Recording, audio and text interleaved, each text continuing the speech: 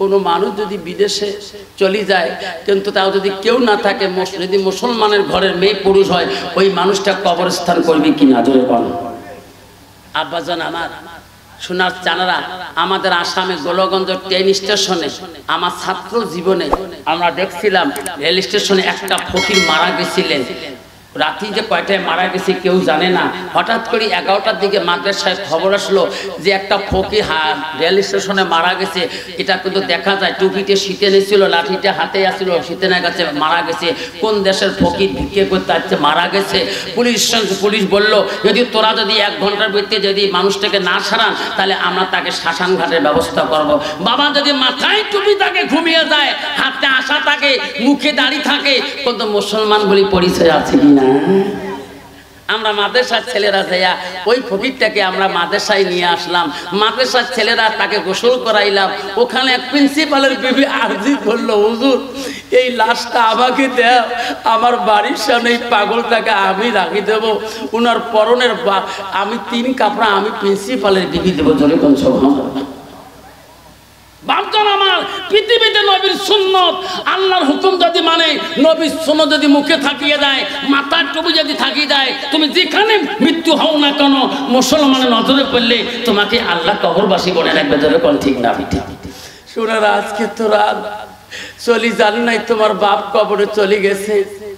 এমনও জায়গায় তোমার বাপ পড়ি আছে যেখানে কবরের কোনো ঠিকানা নেই। কোন ঠিক না বেশি এমনও কতগুলো কবর আছে তোমার ওই গরু যেখানে চারা বাঁধেন তোমার দাদার বংশ দাদা ওটি কোনো কবর, ওখানে গরু ঘোরাইছে তোমার দাদা, তোমার বংশরা কষ্ট পাইতেছে। আব্বাজন আবার সোনার চারারা, আজকে একটা কবরস্থান এই, বাবা, এই সিঙ্গিমারিতে এই নগর সিঙ্গিমারিতে আমি পরে বক্তব্যটা বলব। তারপরে কবরে হাল কি হবে? আজকে এই কবরস্থানটাকে চিরুক্ত রাখার জন্য যাতে ওখানে একটা আল্লাহর অলি ওখানে একটা আলেম যদি কবরবাসী যায় কবরস্থানের মধ্যে, আল্লাহর অলির ওসিলা করি, একটা আলেমের ওসিলা করি, আল্লাহ সমস্ত কবরবাসীকে আল্লাহ মাফ করে দিবে জোরে কোন সেই জন্য বলছে বাবা আমার, তারপরে খলিফাতুল মুসলিমিন কি বলবে?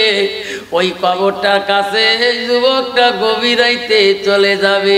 কন্ত বাবারে, আমার মতো মানুষ যদি আব্বাকে মাটি দেই রাতের একটার পরে যদি মা বলে, আব্বা, তোমার আব্বাকে আসরের সময় মাটি দিয়েছ, এখন রাতে একটা বাজি যায়। দেখো তো, তোমার আব্বা কবরে কোনো ঠান্ডা পায় নাকি? কন্ত আদর সন্তানটা পর্যন্ত ওই কবরের স্থানে রাত্রি কি দেখতে যাবে? জীবনের বল ধরে কবরে যাবে না, মা বলে না যাবে না। আমি নিজে দেখছিলাম, আমার আব্বা মরার পরে। আমার ভাইরা সবাই চলে যায়, আমি জীবনে যত মানুষের কবরে আমি নামছিলাম। আমি মেমতি করছিলাম চোদ্দ বছর। কোন কবরে আমি নামি নাই।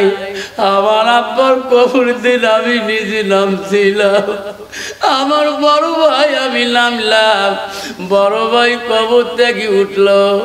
আমি আব্বার মুখের কাপড়টা খুলি দিয়ে কেবলা মুখ করি দোয়া বলি বড় ভাই বলে, বলো না রে, কান্দিস আব্বার কাছে? উঠে রে ভাই, আমি তো উঠছি। আমি বলি ভাই আব্বার সাথে আমরা একসাথে ভাত খাইলাম। আমার আব্বাকে ছাড়ে আমি কেমন করে যাই, আমি যেতে পারি না। বড় ভাই বলতে ভাই রে তোর চোখের পানি যদি আব্বার কাপড়ে পড়ে যায়, গোনা হয়ে যাবে। তুমি উঠো, তুমি বোঝো, কান্দ কেন?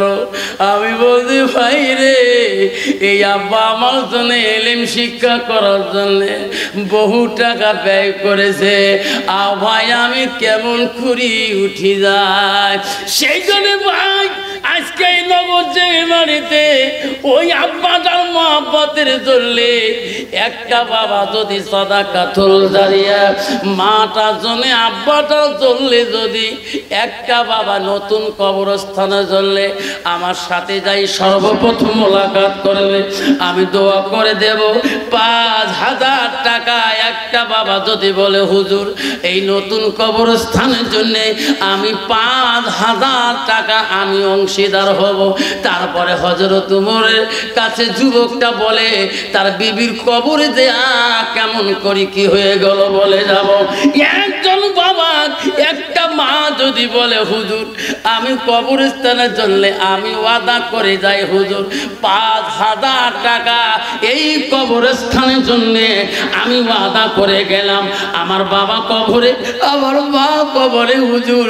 আমি আমার বাবার জন্য, মার জন্য, আমি সাতগাজারি হিসাবে ওই কবরস্থানের জন্য আমি পাঁচ হাজার টাকা দিয়ে শরীর হইতে যাই। একটা বাবা যদি হাত দেখাতে পারেন, আমার কাছে আসি মোলাকাত করবেন। আমি তো করে যাব সোনা। একটা বাবা সঙ্গ পাঁচ হাজার টাকা। এই কবরস্থানে ধরলে আয় সোনায়, মঞ্চে উঠি আয় তোর কাছে মোলাকাত করব রে আয় রে সোনায়। আয় মঞ্চে উঠি আয় ওই বাবাটা হাত দেখাইলে। আমি তোর নাম ধরি দোয়া করব, তোর বংশের নাম ধরি দোয়া করব, তোর নাম শুনব রে সোনা। আমি আফজার খুব ভরে চলে যাব স্কুলে ক্লাস করব আবার তোর সাথে মোলাকাত করতে চাই। পাঁচ হাজার টাকা কোনো বন্ধু, কোনো মা বোন যদি আছেন, পর্দার আল থেকে একটা কমিটির হাতে বলবে, হুজুর, আমি পাঁচ হাজার দিতে পারি না, হুজুর, আমি আড়াই হাজার টাকা দেব, হুজুর হুজুর, আমি এত হাজার টাকা দেব, হুজুর, আমার নাম অমুক, আমার জন্য একটু দোয়া করে দেবেন।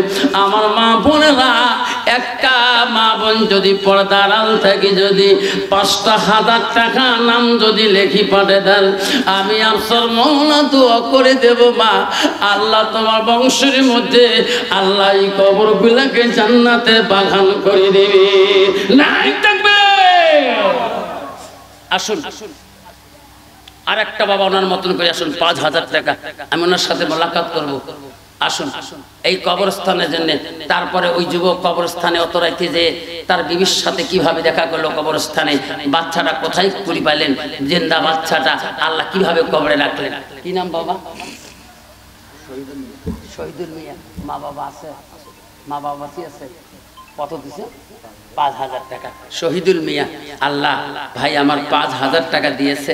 আল্লাহ, মা বাবা বেঁচে আছে। আল্লাহ, একটু দোয়া করব। শহীদুল মিয়া, হাত তুলি একটু, এক মিনিট। আল্লাহ আমি সবাই হাত তুলে, আল্লাহ হবে ও ঘমল ঘো আল্লাহ